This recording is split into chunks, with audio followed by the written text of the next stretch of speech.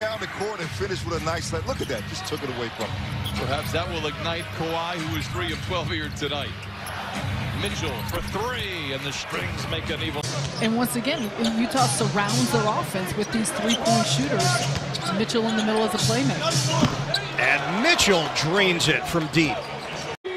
Да, Майерс, м, в общем-то, по сезону, если посмотреть, он а, бьет трехочковых 8 почти процентов. Excellent job by Jarrett Allen. Again, his continued movement and being aware of where Gobert's at, but not letting him stop. Bogdanovich sneaks in on Joe Harris. Play hard practice. They sit on the bench and they cheer on James Harden and Russell Westbrook, but they're all good players and they're getting a chance here tonight. It's fun to see them get going.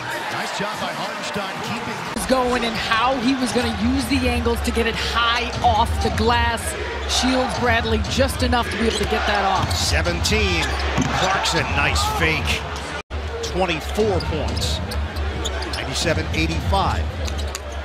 Just under eight minutes to play in the fourth. Ingles.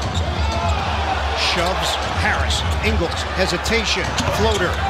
Book it. забивает парашютик.